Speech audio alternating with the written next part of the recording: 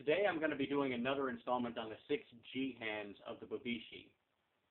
I'm going to be talking about the iron bone hand.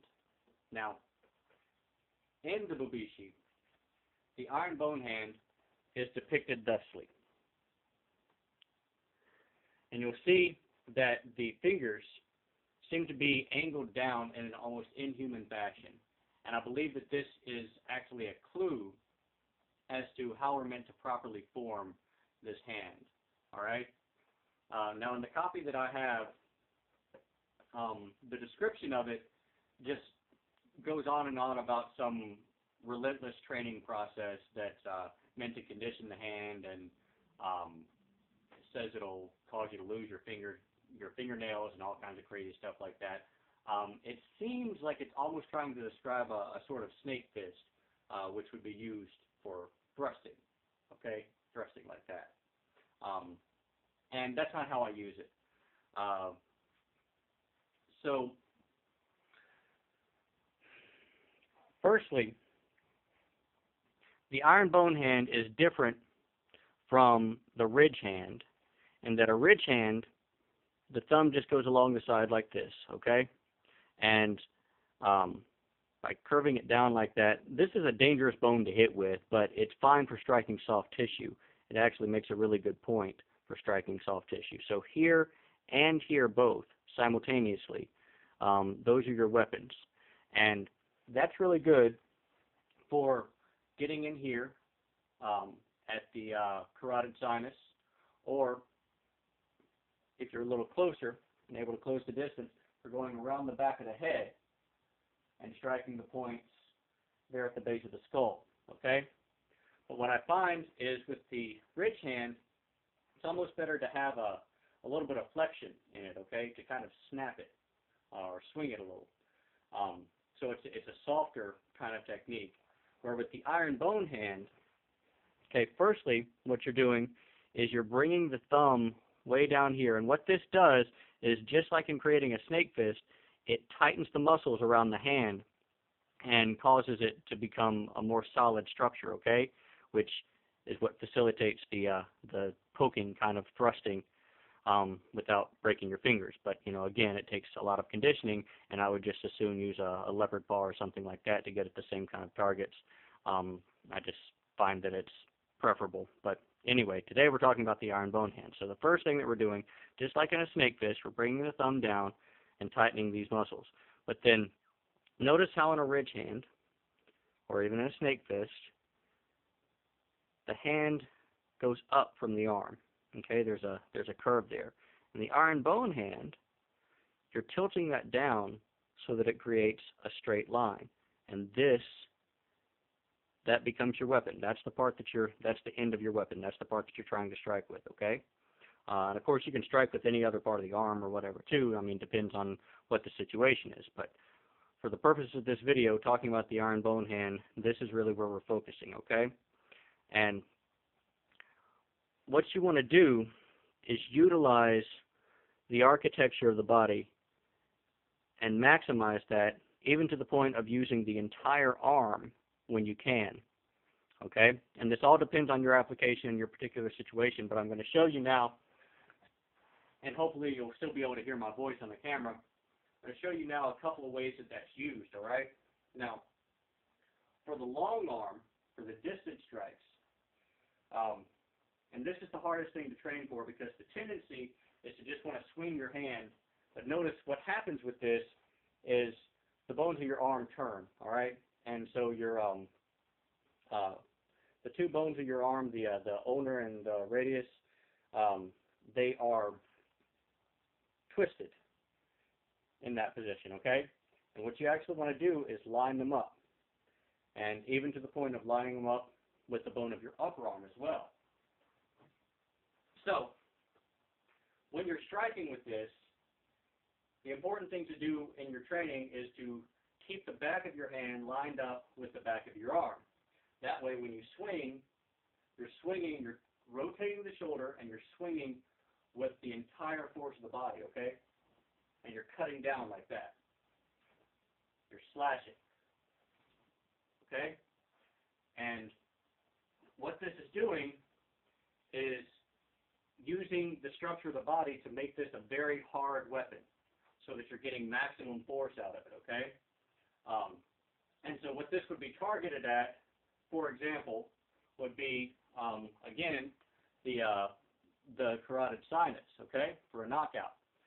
And by swinging like this, though, if you have superior reach especially, not only are you striking the target, but you are also moving any potential incoming attacks out of the way, again, using the strongest portion of your arm.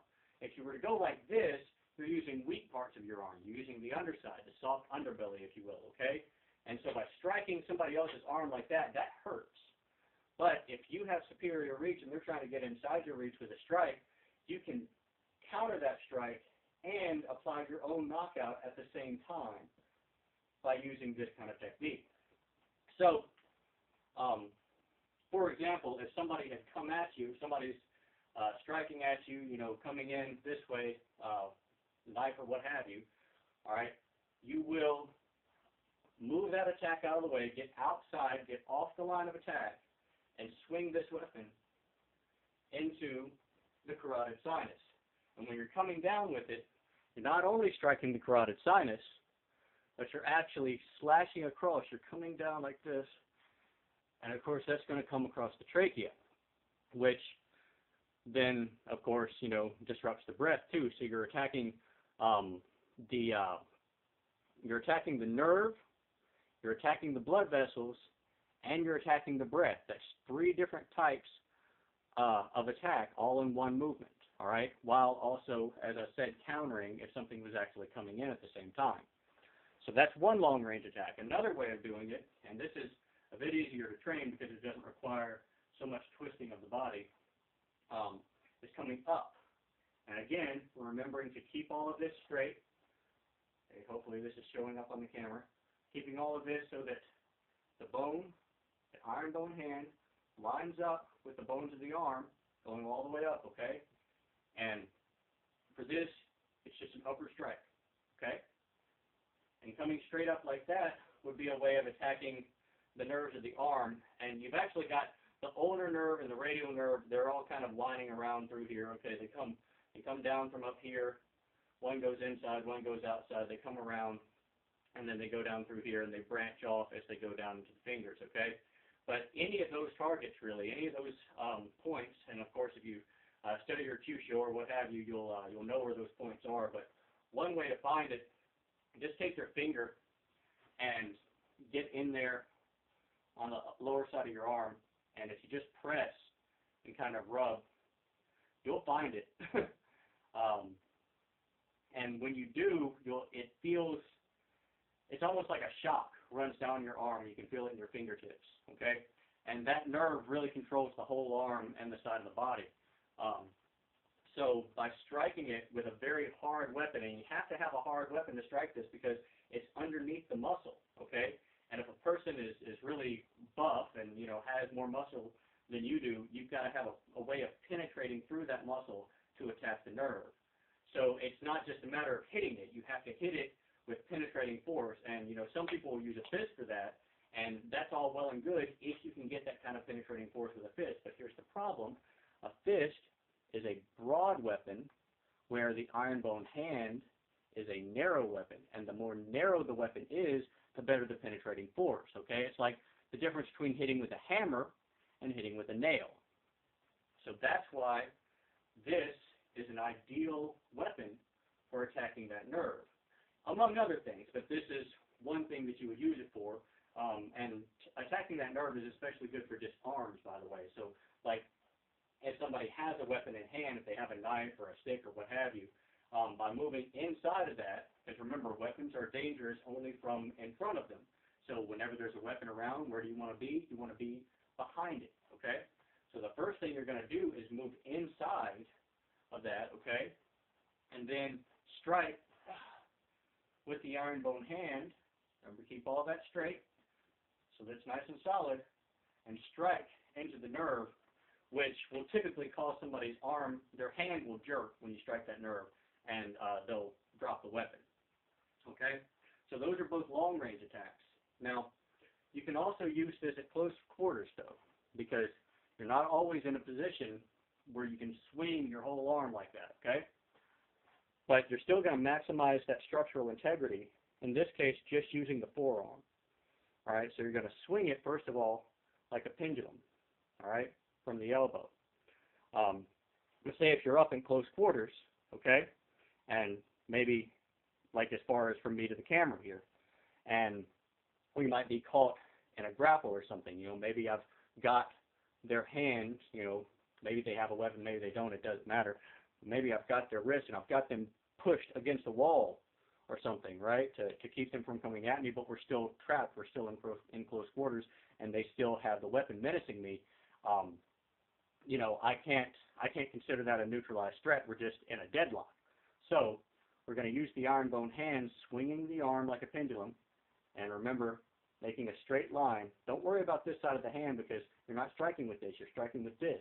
And you want to use the anatomy to give you a more solid weapon, okay? So you're going to swing the arm like a pendulum, and this works even if you're caught in a grapple, okay? Even if my arm or their arm is in the way, this allows you to swing around that and still get in there to the carotid sinus, okay? Which, of course, is a knockout if you strike it with a penetrating blow. Um, so we're just going to bring this arm up and strike with the iron bone hand. So that's a way that you can use it in close quarters without having to use the entire arm. But when you can, that's what you want to do is line up all of these bones. Um, and so, now of course, everything has many different applications and everybody has different ways of doing things. And, you know, far be it from me to differ with the Bible of karate and say that the iron bone hand is used for striking this way and not this way.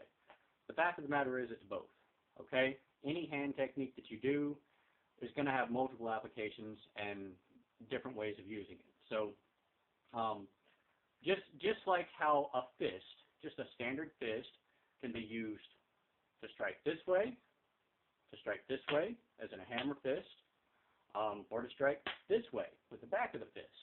It's still just a fist, okay? Um, same thing with the iron bone hand. We saw that bringing the thumb down like this strengthens the muscles around the bones of the hand. So yes, it is used for thrusting. It can be anyway, but I find that impractical. Um, certainly not something I teach to beginners, and uh, frankly, if you can't learn something and then just go out there and use it, um, then it's not necessarily the most practical technique. Now, of course, any technique needs to be practiced. Um, so, I mean, I'm not saying that you can just watch this video and suddenly become a master of the iron bone hand. What I'm saying is that any weapon that you use should be should be effective um, the minute you pick it up. And then it just takes training with that weapon to make it more effective, okay? Um, anybody can shoot a gun. Not anybody can shoot a gun safely or well um, anybody can use the iron bone hand. Uh, but with practice, you can learn to use it efficiently and effectively. And that's what I'm talking about here. Um, but all the same, if you if you go out thrusting with this without conditioning your hand first, you're probably going to hurt your hand pretty badly. And frankly, you'll probably hurt your hand a bit doing it this way. Um, but this is safer than this and um, that's just a fact. Um, but it's still the iron bone hand either way. This is just the way that I use it and a way that I find to be most practical. So, um, you know, hopefully you've enjoyed this and you've learned something from it and you find it to be practical and to serve you well too. Um, train diligently, never stop learning, you know, never uh, think that you've discovered all the secrets of anything. Um, I'm certainly not a master of all. I just uh, I just know a few things and am still evolving. Um, so I find that the best way to look at these more ancient tools, um, such as the Bubishi, um, I find that it's best to leave them open to interpretation rather than to um, adhere to any kind of strict dogma. You know, you don't want to get caught up in thinking that there's only one way to do anything. So, uh, anyway, that's my presentation on the iron bone hand. Um, so, like I say, I hope you enjoyed it. Um, follow Balance Martial Arts on Facebook, read my blog, and thank you for watching and good training.